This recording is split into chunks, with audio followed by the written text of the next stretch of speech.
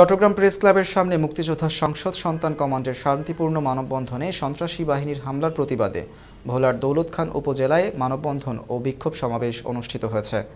আজ শনিবার সকালে দৌলত খান মুক্তিযোদ্ধা সংসদ ভবনের সামনে দৌলত খান মুক্তিযোদ্ধা সংসদ সন্তান কমান্ডারের আয়োজনে মানববন্ধন ও বিক্ষোভ সমাবেশ অনুষ্ঠিত হয়।